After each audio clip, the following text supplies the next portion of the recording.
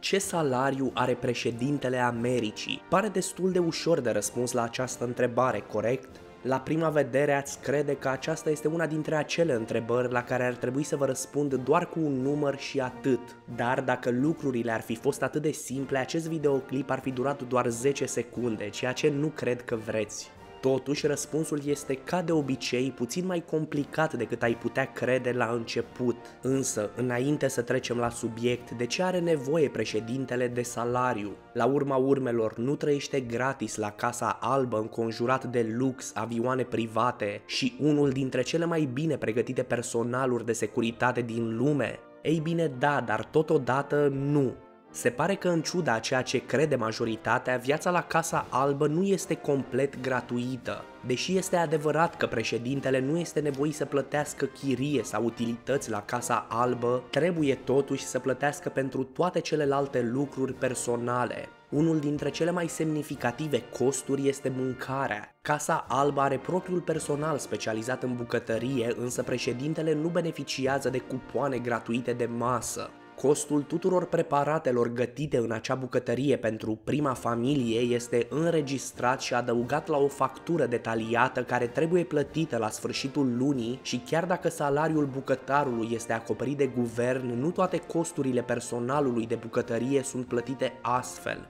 De exemplu, atunci când președintele organizează o petrecere privată, el nu trebuie să plătească doar pentru mâncare și băutură, dar și pentru chelneri, echipa de curățenie, securitate și orice alte costuri ce prevede petrecerea respectivă. În plus, președintele trebuie să plătească pentru toate celelalte lucruri de care are nevoie și o persoană normală, cum ar fi pastă de dinți, șampon, acele insigne mici pe care le vedeți la pieptul demnitarilor, abonamentul la Netflix și de asemenea haine, care pot fi destul de scumpe, în special pentru prima doamnă din partea căreia se așteaptă să poarte de fiecare dată ținute diferite și scumpe create de designeri renumiți. Totuși, guvernul federal american este cel care plătește pentru treburile prezidențiale oficiale, deci președintele nu este taxat pentru cinele oficiale, personalul de securitate, combustibil pentru avioanele private și așa mai departe, ceea ce creează deseori controverse pentru cetățeni, însă rare ori sunt abordate de către oficiali. Totuși, contribuabilii statului nu sunt cei care plătesc pentru orice lucru personal al președintelui, iar dacă acesta vrea să ia o gustare la miezul nopții este nevoit să plătească pentru ea din propriul buzunar. Acum că am vorbit despre motivul pentru care președintele american are nevoie de bani, haideți acum să vorbim despre bani în sine.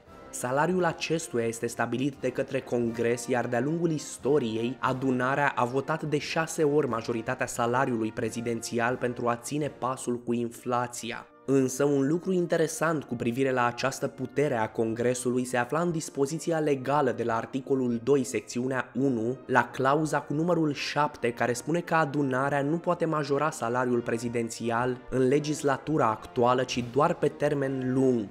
Adică dacă Congresul alege să crească salariul președintelui, acea majorare nu intră în vigoare decât după următoarele alegeri prezidențiale. Această prevedere legală este cel mai probabil în vigoare pentru a preveni corupția de la biroul oval, iar până acum a funcționat excelent.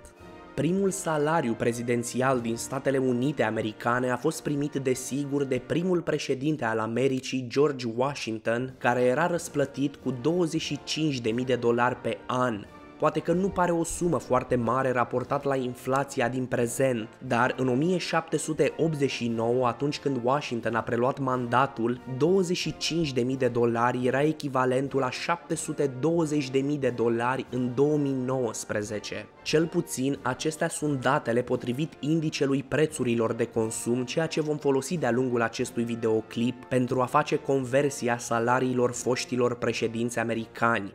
În fine, Salariul președintelui a stagnat la suma de 25.000 de dolari până în 1872, punct în care Congresul l-a majorat la 50.000 de dolari începând cu al doilea mandat al președintelui Ulysses Grant, ceea ce în prezent este echivalentul a 1,1 milioane de dolari. Această sumă a fost oferită până în 1908, atunci când salariul a fost mărit la 75.000 de dolari în 1909, începând cu primul mandat al lui William Howard Taft, ceea ce îi oferă cea mai mare ajustare a salariului dintre toți președinții americani adică 2,2 milioane de dolari raportat la valoarea dolarului din prezent. În 1948 a fost o altă majorare și de această dată a avut loc în mijlocul celui de-al doilea mandat al fostului președinte Harry S. Truman. El a fost pus în funcție pentru a doua oară în 1949 și a avut un salariu de 100.000 de dolari pe an, care în prezent valorează cam 1,1 milioane de dolari. În 1969, Congresul a dublat salariul prezidențial, ceea ce a însemnat că începând cu 1969, Richard M. Nixon, președintele ales atunci, a primit 200.000 de dolari care valorează 1,4 milioane în 2019. Acel salariu a fost prelungit până la sfârșitul celui de-al doilea mandat al președintelui Clinton în anul 2000, când a fost dublat încă o dată la 400.000 de dolari sau 600.000 la valoarea din 2019.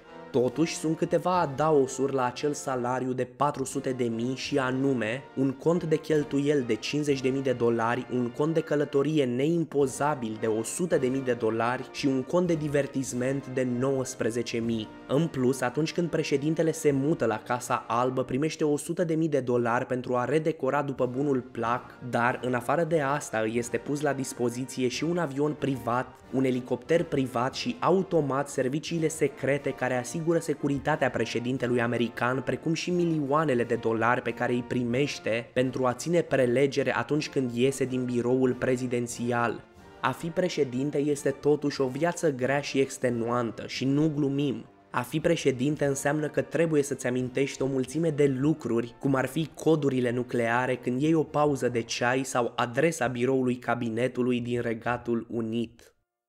Acesta a fost videoclipul meu, dacă v-a plăcut nu ezitați să vă abonați. Mi-am creat și un cont de Patreon unde deja mă susțin câțiva oameni cărora aș dori să le mulțumesc din suflet. Aveți un link în descriere dacă sunteți interesați. De asemenea, mai jos găsiți și conturile mele de Instagram. Hai cu un follow și acolo. O zi superbă vă doresc tuturor!